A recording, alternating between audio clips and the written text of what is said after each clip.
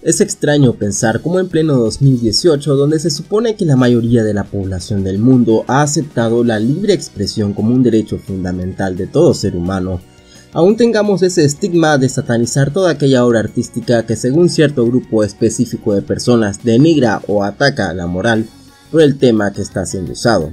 Y comienzo con esto porque Blue Reflection irradia externamente todo ese tema polémico de exponer a personajes menores de edad en escena bastante comprometedores mientras apunta hacia un público adulto masculino.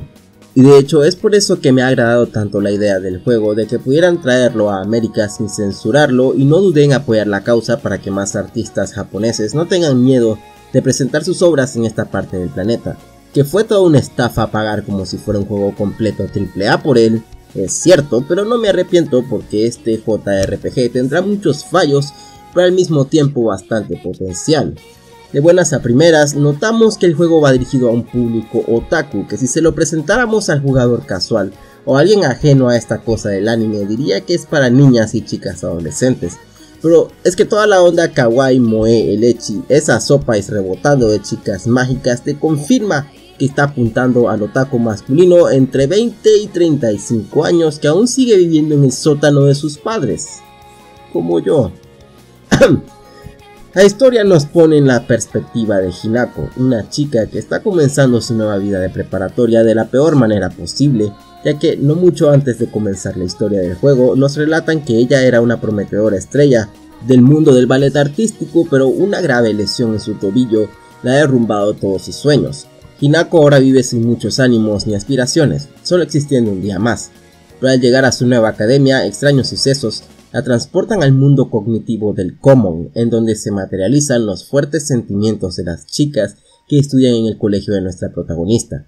Con ayuda de sus compañeras de equipo, las misteriosas hermanas Yusu y Lime, Hinako logra transformarse y obtener poderes mágicos para combatir las alimañas de este mundo de fantasía, mientras catalizan en cristales los sentimientos de sus compañeras, los cuales les ayudan a derrotar a sus enemigos principales, los Sephiroths porque como nunca va a salir el remake de Final Fantasy VII, en algún lado tenían que contratarlo de villano. sé que les gustó el chiste. ¡Apestas! ¡Deja de dar pena! ¡Ya lo ves! Hombre, qué público. Bueno, ok, siendo serios, los Sephiroths en este mundo son monstruos que alteran la realidad y amenazan con destruir a los humanos, por lo que las tres chicas se embarcan en esta aventura con la promesa de que si logran derrotar a todos los Sephiras, Hinako podrá pedir un deseo, el cual obviamente sería que pueda volver a la pista de baile de ballet. Aclaro que para esta primera parte del video no incluye spoilers mayores, así que puedes verlo sin problemas para darte una idea del juego, y estaré avisando cuando voy a tocar partes importantes de la historia. Entonces, comenzando con el gameplay, este es un JRPG muy apegado al estilo clásico en turnos, y tal vez lo más cercano para hacer una comparación sería el estilo utilizado en Final Fantasy X. Cada personaje de la batalla toma su turno y en dependencia de qué tan fuerte, ligero o qué propiedades tenga la habilidad que usan, su siguiente turno puede demorarse o adelantarse en una barra de tiempo que te muestra explícitamente el orden en que cada integrante o enemigo va a entrar en acción. La lucha entonces se lleva a cabo de forma bastante familiar a cualquier RPG, teniendo acciones de ataque, defensa o habilidades mágicas, añadiendo una mecánica adicional donde tenemos que cargar nuestro éter, algo así como la energía mágica que necesitamos para usar las habilidades más poderosas del equipo. Así que tenemos que tener un ojo apegado a que no nos destruya el enemigo y el otro ojo a que no se nos agote el éter.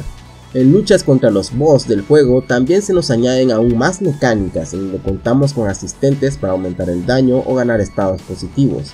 Esto sí viene en contraste contra enemigos mucho más fuertes que atacan de forma consecutiva o donde tenemos que luchar hasta contra 7 contrincantes al mismo tiempo. Dicho esto, en realidad el juego no es tan difícil y no me he visto en la tediosa tarea de andar grindeando niveles para poder avanzar. Lo cual en parte agradezco, pero a la par siento que un poco más de dificultad habría colaborado en sentir el juego en general como un mejor reto a mis habilidades, y eso que lo jugué en hard. Destaco bastante la interfaz del juego, la cual es visualmente elegante y limpia, lo que hace fácil que el jugador se adapte a todas las opciones. De hecho, el juego cuenta con pocos tutoriales, por lo mismo, ya que han logrado que visualmente sea sencillo comprender las mecánicas del juego sin usar muchas palabras, y eso lo hace bastante accesible aún para aquellos que eh, no estén acostumbrados a un RPG. Este punto lo miré de especial relevancia porque viniendo de Persona 5 en donde la interfaz estaba increíblemente estilizada y te motivaba a investigarla, en ocasiones la inmensa cantidad de tutoriales y opciones te quitaba la experiencia de andar indagando y se convertía en algo tedioso al final. Igualmente el sistema de niveles es bastante accesible, funciona acumulando niveles de los personajes y luego asignándoselos a uno de sus atributos principales, pudiendo convertir a cada miembro en un poderoso tanque de lucha, una defensa definitiva o un soporte crucial, o si se nos apetece crear un miembro equilibrado, lo cual hace que la personalización se adapte a las preferencias con las cuales querramos luchar. Esto añade un poco de replay value ya que ninguna de las chicas comparte habilidades entre sí, y desbloquear todas las habilidades de cada una se hace imposible en una sola jugada. En síntesis me parece un sistema bastante bien logrado que tiene campo para mejoras, pero es bastante satisfactorio como tal. El mayor problema aquí es que la variedad de enemigos es casi nula, los escenarios son súper repetitivos, y en ocasiones te quedas ampliamente hastiado de tantas luchas fáciles a las cuales ni tienes que pensar la estrategia porque basta atacar una y otra vez para ganar. Dejando las mecánicas RPG, este juego avanza su historia por medio de socializar dentro del campus de tu academia, muy al estilo de los juegos de persona. Cada capítulo del juego se enfoca a un personaje específico de tu colegio que sufre algún problema personal y la vuelve emocionalmente inestable, por lo que es nuestra misión ayudar en la vida real como amiga y en el common combatiendo contra sus alimañas y cristalizando sus fuertes emociones. Una vez terminamos su capítulo podemos seguir relacionándonos con ellas platicando e invitándole a salir para conocerse mejor o chateando en el móvil. Esto desbloquea más habilidades que van haciendo cada vez más fuertes según nuestro nivel de amistad. El aspecto visual Blue Reflection se lleva una nota bajísima, porque no llega a cumplir con los estándares ni siquiera de los juegos promedios de la generación actual. Los bordes aserrados, texturas que parecieran plásticas y fondos con escasez de detalles hacen del juego todo un desaprovechamiento total las animaciones también son pocas teniendo los personajes gestos faciales muy limitados. El frame rate tiene bajones muy perceptibles en múltiples ocasiones y aunque esto no daña en nada la experiencia, termina dejando una mala impresión en acabados. De hecho me es extrañísimo, pero pareciera que este juego hubiera sido trabajado por dos equipos totalmente diferentes, uno compuesto de puros novatos y otro de experimentados de Boost, la empresa creadora. Lo digo porque si hay partes en donde se nota que este juego está a la altura de las expectativas es en las batallas contra los jefes.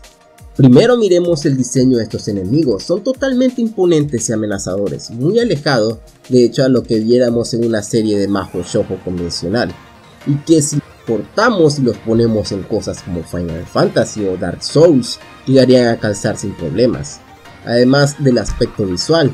En estas batallas fueron las únicas en donde realmente tuve que ser más estratégico debido a lo complejo que es enfrentarte no solo a su núcleo principal, sino que a 7 partes adicionales, cada uno con su turno y movimientos especiales. Y por supuesto esto sonaría súper desventajoso si no es, como lo había dicho anteriormente, que en los enfrentamientos de los jefes son las únicas oportunidades en donde las compañeras que vas salvando pueden usarse como soportes beneficiosos para tu equipo añadiendo una dimensión adicional a las batallas que las hace sentirse aún más emocionantes.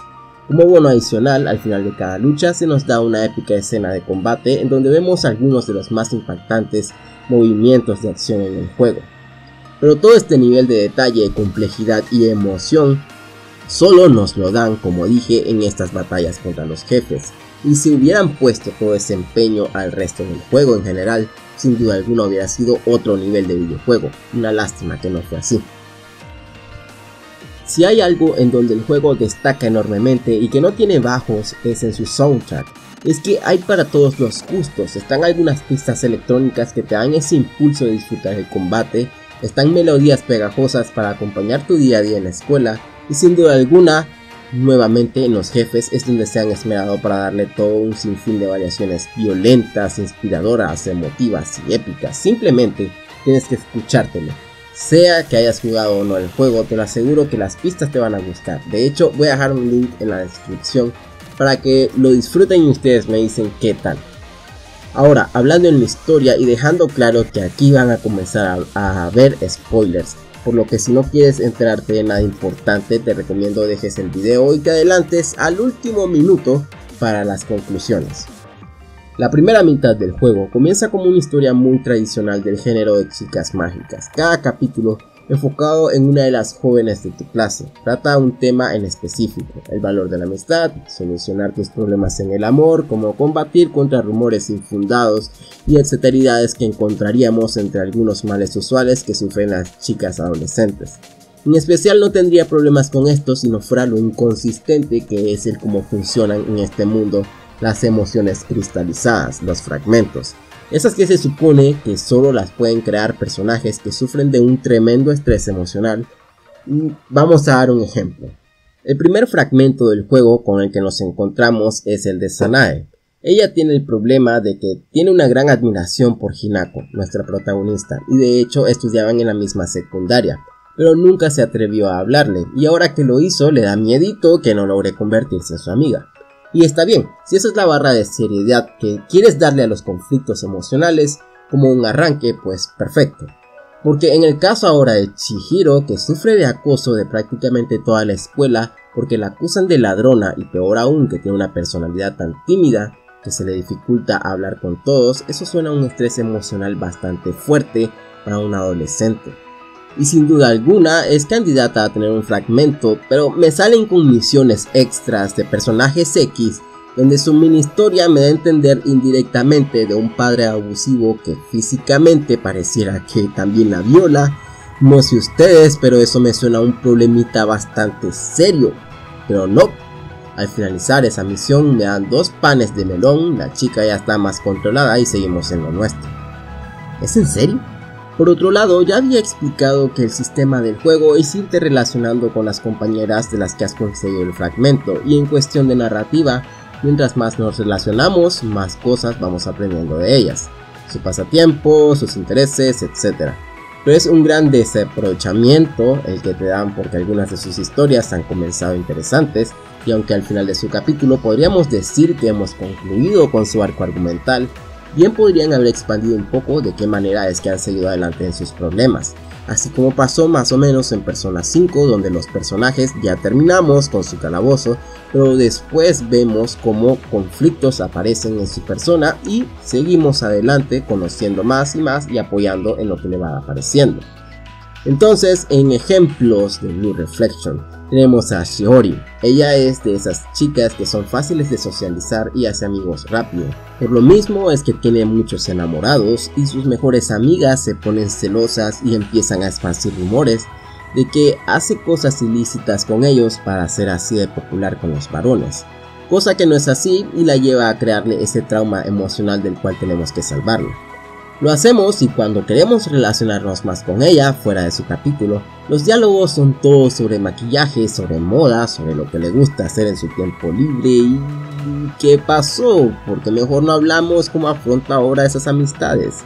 Si bien esparciendo los rumores, está bien emocionalmente, algo relativo a lo que le acaba de suceder y eso se repite con todas, ¿sí? Y es que prefieren darnos fanservice mal hecho hablando sobre el tamaño de sus pechos por encima de querernos dar un trasfondo más accesible de los personajes. Y digo que es fanservice mal hecho porque te lo dan de la nada y en ocasiones que tiende a sentirse desconsonante. Yo sé muy bien sobre esos temas, sobre fanservice, echi y esas huevonadas, ¿sí? Porque no sé por qué lo estoy diciendo con orgullo. Una vez terminamos la primera mitad, la segunda mitad del juego te empieza a dar pistas sobre de qué va realmente la historia principal. La trama empieza a tomar un singular giro al notar cómo tus compañeras de equipo te han estado ocultando mucha información. De hecho, pareciera que la narrativa te estuviera dando pistas para que creas que el giro al final es que tus compañeras son malvadas o que tienen una agenda oculta, algo que se siente bien logrado en mi opinión, pero, pero, porque siempre hay un pero con este juego, lo hace después de largas y tortuosas horas de mucho repetitivismo en escenarios, batallas, misiones, en donde más bien estás probando tu paciencia y recompensándote con esos pedacitos de historias que son interesantes, pero que la mayoría no van a poder disfrutar porque tienen el inmenso reto de aguantarte ese aburrimiento de llegar hasta ellas. Y si eres de esos que perseveran bastante y has llegado al último cuarto del juego, finalmente te dan toda la información que necesitabas. no voy a detallar muy a fondo de qué trata, pero finalmente vemos una evolución en las relaciones de nuestros personajes, ya que si desde un inicio Hinako se ha estado haciendo amigas de todas sus compañeras en la clase, Su y Line, que son tus compañeras de equipo mágicas, se sienten muy distantes y casi ni las conoces. Pero cuando te dicen la verdad y te das cuenta que de cierta forma te habían estado utilizando todo ese tiempo, te es imposible no sentir simpatía por ellas, porque finalmente comienzas a tener una amistad basada en la confianza, pero que conlleva a múltiples sacrificios, y que sabes que aunque estás haciendo lo correcto, al final va a ser muy triste para todas las involucradas. Y es por eso que Yusu y Line no te querían contar nada desde el inicio. Es esa regla en donde es preferible ser ignorante y feliz a consciente y desgraciado. Y en ser la persona que tiene que elegir por alguien a quien le tienes mucho afecto, termina siendo un gran peso a cargar, y es el caso de las hermanas. Y es así como llegamos a una conclusión muy emotiva que me ha hecho sacar una lagrimita de los ojos porque aunque es un final feliz, conlleva implicaciones muy tristes para todos los personajes que te han acompañado en la historia. Y aclaro que tampoco es que esta sea una narrativa única ni super original, pero la forma en la que es llevada te deja muy satisfecho de haberla conocido. Lamentablemente, y como ya lo he dicho antes, tienes que aguantarte todo ese repetitivismo aburrido para poder llegar hasta aquí. Y eso sin duda es un gran obstáculo para todos los que tienen este juego porque seguramente vieron la primera mitad que era súper aburrida y lo dejaron y descartaron no vieron sus buenas bondades que es esta interesante historia que lamentablemente conoces ya hasta el final. Entonces, para concluir, Blue Reflection es un juego con un increíble potencial que ha sido desaprovechado porque tiene muy buenas ideas que me parece sus desarrolladores habrían querido llegar a completarlas a como las tenían visualizadas, pero ya sea por los limitantes de tiempo, mano de obra o presupuesto no llegaron a ser. Y eso se nota porque muchas mecánicas se miran terminadas a medias o rellenadas con horas de gameplay repetitivo para alargar el juego y cumpla con el estándar de hacer que sea un RPG largo. La historia termina de forma bastante autoconclusiva, pero como ya es común en las obras se deja una ventana abierta para una posible continuación, la cual apoyaría sin duda si se llega a mejorar todos los defectos muy obvios que tiene en Blue Reflection. En sí me parece un poco una estafa comprarlo al precio completo de salida, ya que para mí me parece más un indie que un AAA. Pero ya teniendo un año, estoy seguro que puedes encontrarlo a un precio más favorable, más justo con la experiencia que vas a recibir al final. Además les recuerdo que comprando este tipo de juegos apoyamos y damos una opinión de que si hay un mercado al cual ofrecerle en Occidente este tipo de contenido, un poco más de nicho y que siempre termina siendo criticado por motivos de sensualización y demás. Si te ha gustado el video te agradezco un like y por supuesto tu suscripción para que no te pierdas más de mi contenido en el futuro. Nos vemos en otra.